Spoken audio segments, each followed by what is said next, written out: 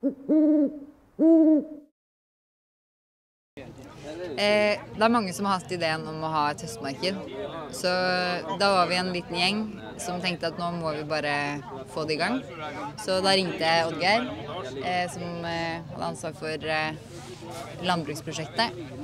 Og han var gira på å være med. Og så Marlene meldte seg frivillig. Så da ble vi en liten gjeng da, som har liksom drevet det sammen. Og så har masse har andre folk bidratt på andre måter, da. Frivillig. Ja. Hvordan har dere fått uh, utstillerne til å komme hit? Eh, vi har eh, sendt litt eh, meldinger rundt omkring. Og eh, brukt sosiale medier. Og snakka med venner og folk i bygda. Og så har folk meldt seg på. Hvor mange utstillere er det her? Har du 20? Noe sånt? Ja, rundt 20. Ja. Og hva slags eh, tilbud er det de har? Eh, altså, de får gratis eh, bord. Og så kan de få stille ut det de har lyst til å gjøre. Og så får de får inntektene sjøl. Og så har vi en kafé da, hvor inntektene går til eh, neste års marked. Så det er egentlig en vinn-vinn-situasjon. Vi får et arrangement, og de kan få inntekter på ting de vil selge. Og hva kan publikum få kjøpt her utenom kaffe og kaker? Du svare på det, Helene? Eh, det er jo alt fra skinn og kjøtt eh, til eh, Ja, det er jo i kafeen kan du få kjøpt kake og mat. Eh, og så er det jo grønnsaker. Eh, det er ved. Det er utstillere her fra eh, sitt sagbruk. Og så er det jo litt tuppevare og eh, gjenbruk, egentlig. Så det er det meste. Det er både utstillere fra Storfjord, mest fra Storfjord. Eh, for vi tenkte det skulle være et tilbud fra lokalt næringsliv. Eh, og så er det noen fra Balsfjord. Ja. Det er vel det, det primært det. Oddgeir Fagerli, hva er din rolle her? Jeg er jo leder for landbruksprosjektet som går i Storfjord. Styrking av landbruket i Storfjord. Det har pågått nå siden 2019 og vil gå ut til sent neste høst. Eh, Og hadde en liten idé om en type matfestival. Og så hørte jeg om De hadde snakket om høstmarked her, og da var det ganske greit egentlig å få slått i hop de to og så arrangere i lag. Og Tanken er at det skal bli et årlig arrangement. Eh, Det er kjøpt inn telt som, som prosjektet eier, som vil bli, vil bli mest sannsynlig et utstyrssentral etterpå, sånn at det er tilgang for framtiden. Vi håper jo det blir et årlig prosjekt. Og vi syns det er veldig vellykka i år, eh, til at det er helt nytt. Mange utstillere, det er godt med folk.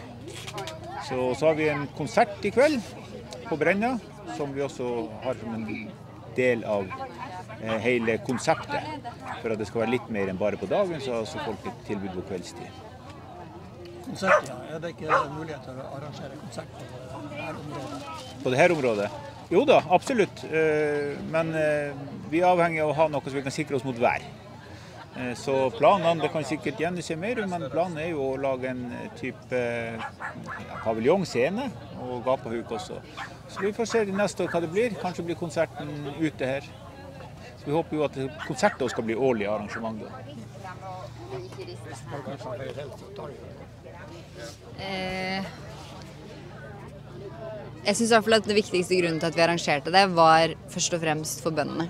Det har jeg lyst til å si og påpeke. fordi at eh, det, er veldig, det er jo en, ikke så mange bønder igjen i Storfjord. Og de som faktisk er her, de burde få fokus, da. Så det har vært en viktig ting at de kan få en plass, og at de kan få selge sine produkter. Og jeg har en liten drøm om at man kan få til noe mer fast. At de kanskje kan selge fast til folk her i bygda. Eh, direkte handel er jo litt sånn fremtida. Eh, sånn som det var før.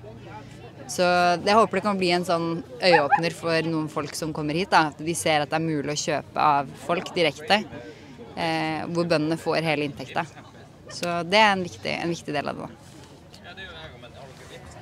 Nei, for Tanken er jo å, å senke terskelen for hva man, hva man produserer. Eh, og det ser vi. Jeg har allerede fått tilbakemelding i dag på at oi, jeg kunne jo ha stått her.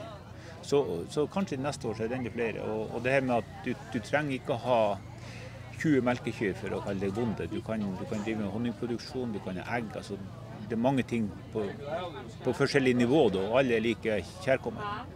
I Balsfjord har de noe som heter Reko-ringen. Ja da, det har vært, eh, og det er på tapeten egentlig.